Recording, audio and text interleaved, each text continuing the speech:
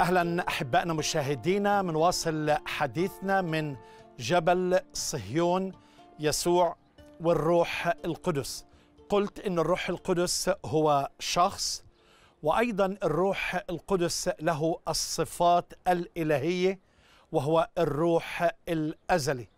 شفنا الروح القدس في الخليقة في العناية الإلهية في ولادة يسوع المسيح رأينا الروح القدس في عمل التجديد لا بأعمال في بر عملناها نحن بل بمقتضى رحمته خلصنا بغسل الميلاد الثاني وتجديد الروح القدس. فهو عمل الروح القدس في الكيان في التجديد.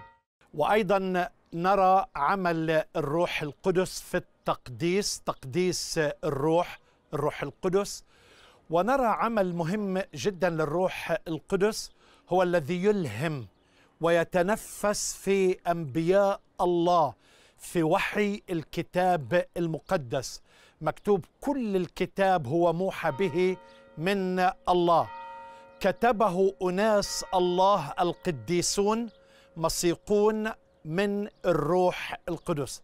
مع الجرس يعني هذا التأكيد على الكلام اللي اللي بحكيه. فإذا إعلان آه واستنارة وإلهام وحي الروح القدس في حياة الأنبياء والرسل وتلاميذ الرب.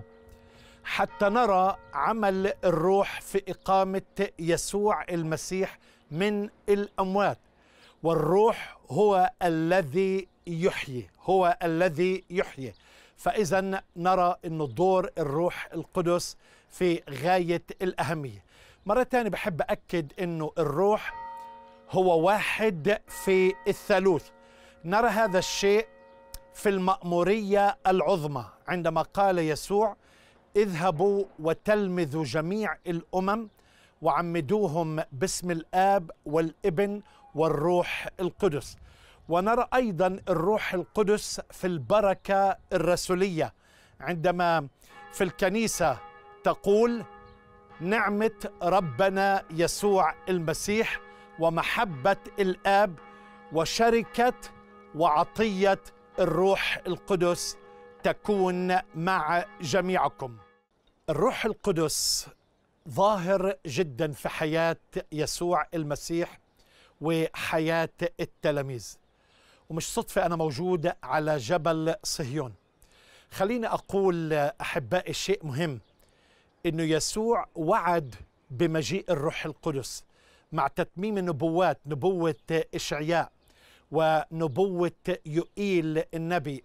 أسكب روحي على كل بشر في آخر الأيام.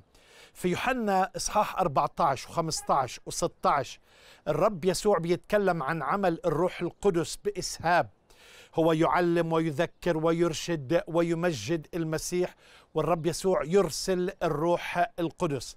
فيسوع بيتنبأ عن مجيء الروح القدس. وعلى جبل الزيتون في الجهة الأخرى قال لا تبرحوا من أورشليم إلى أن تلبسوا قوة من الأعالي وهذا كان مهم جدا. عندما صعد يسوع إلى السماء جاء التلاميذ إلى العلية. العلية في رأس جبل صهيون ولمدة عشرة أيام كانوا يصلوا وكانوا يطلبوا الرب وحل الروح القدس عليهم في يوم الخمسين. يوم الخمسين هذا عيد عيد الخمسين اللي بسموه حاج شفعوت أو عيد الأسابيع أو عيد الشكر أو عيد الحصاد أو بسموه يوم الخمسين يعني بعد تسعة وأربعين يوم من الفصح فصح اليهود في عيد طبعا العنصر إحنا بنسميه يوم الخمسين. حل الروح القدس على التلاميذ. وكان موجود في العلية 120 شخص. وعندما امتلأوا من الروح القدس تكلموا بألسنة جديدة وابتدأوا يشهدوا عن يسوع المسيح وكانوا يتكلموا بكلام الله بكل مجاهرة. فشيء طبيعي رح ينزلوا من جبل صهيون نزولا الطريق القديم خلف كنيسة صياح الديك وطبعا ذهابا إلى منطقة الهيكل. وبطرس الرسول بكل شجاعة مع الرسل بيتكلم أنتم بأيدي أثمة صلبتموه ولكننا نحن شهود للقيامة. ولأنه بقوة الروح القدس ولأنه امتلأوا من الروح القدس الرب خلص وضم إلى الكنيسة ثلاث آلاف نفس.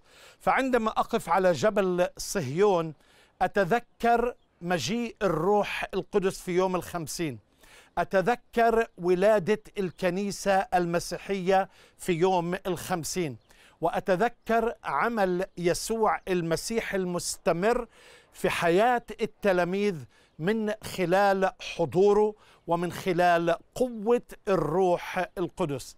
فالروح القدس ما زال يعمل حتى يومنا هذا. فالروح القدس يبكت على خطية والروح القدس يقود إلى يسوع المسيح. أحبائي